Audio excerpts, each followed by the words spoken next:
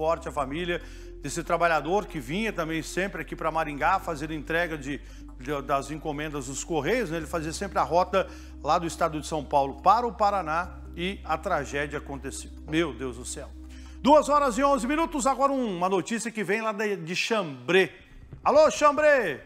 Um homem de 46 anos foi preso suspeito de abusar de uma criança de 8 anos lá em Chambré.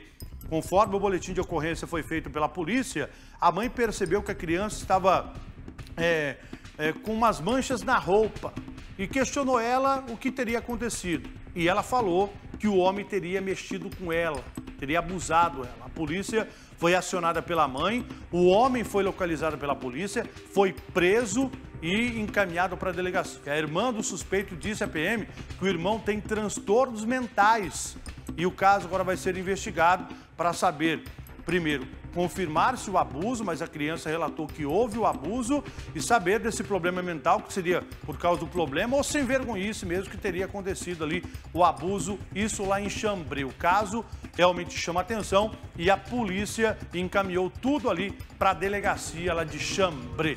Agora a informação é que ele teria problemas mentais e não, ele não, não tem noção do que faz.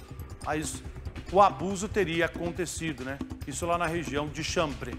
Olha, um outro caso também de abuso que chamou atenção aqui no estado do Paraná, inclusive eu vi a, a informação no ricmais.com.br hoje pela manhã, um vigilante, moradores de um condomínio onde ele trabalha, pegaram ele e estão acusando ele de ter mexido com criança também no condomínio.